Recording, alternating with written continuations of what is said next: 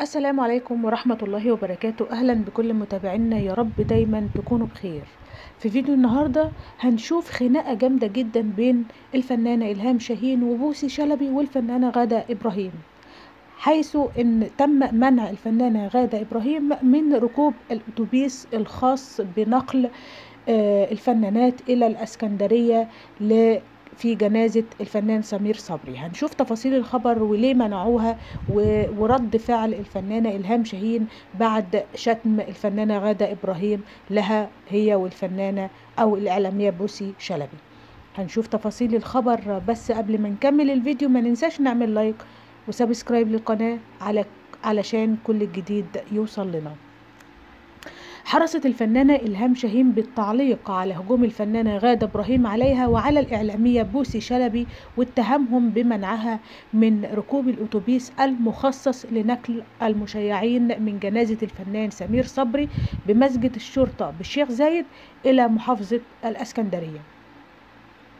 الفنانة إلهام شاهين قالت أنا ما أعرفهاش وما رحتش إسكندرية ولا ركبت أت- أتوبيسات ونفت إلهام شاهين في تصريحات خاصة. حديث غادة إبراهيم قائلة مين دي أصلا أنا معرفهاش ومعرفش حد اسمه غادة إبراهيم ولا أعرف شكلها إيه. وبتشتغل إيه؟ أنا أصلا ما رحتش اسكندرية ولا ركبت أتوبيسات. أنا خلصت صلاة الجنازة ومشيت أنا وليلى علوي وإحنا هنا في القاهرة. وجاء هجوم غادة إبراهيم عقب صلاة الجنازة على الفنان الراحل سمير صبري اليوم بمسجد الشرطة بمدينة الشيخ زايد قائلة حسبي الله ونعم الوكيل فيهم. منهم لله ليه يمنعوني أودع صديق ليا أنا جاية الجنازة صايمة. وفتحت الفنانة غادة إبراهيم النار على إلهام شاهين وهجمتها قائلة أنت ما تعرفيش ربنا. حسبي الله ونعم الوكيل. أنت ما تعرفيش يعني إيه حرمة ميت.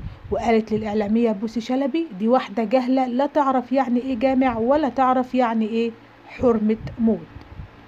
ويذكر أن عدد كبير من نجوم الوسط الفني حرصوا على حضور صلاة الجنازة على الفنان الراحل سمير صبري من بينهم إلهام شاهين وفيفي عبده وليلى علوي وبوسي شلبي وأحمد السقا ووفاء عامر ودنيا سمير غانم وزوجها الإعلامي رامي رضوان و بناء على تصريحات الفنانة غادة إبراهيم وشتمها للفنانة إلهام شاهين وبوسي شلبي فقرر نقيب المهن التمثيلية دكتور أشرف زكي إيقافها عن العمل وعدم ممارسة أو مزاولة مهنة الفن مرة أخرى وذلك لهجومها على زميلتها وسبهم أثناء تشييع جثمان الفنان الراحل سمير صبري.